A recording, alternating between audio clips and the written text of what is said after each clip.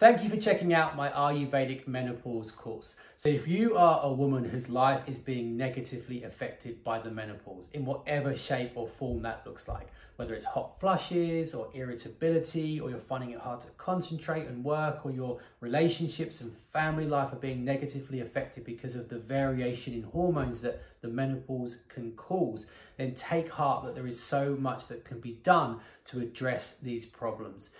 Ayurveda and natural medicine provides evidence-based and safe approaches that are proven to help balance hormones and improve physical and mental well-being during the menopause.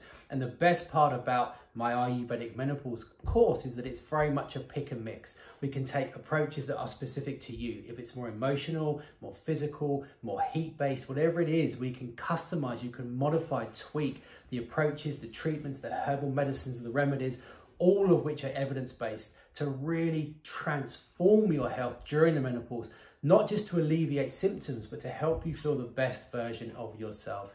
So please check out the course below.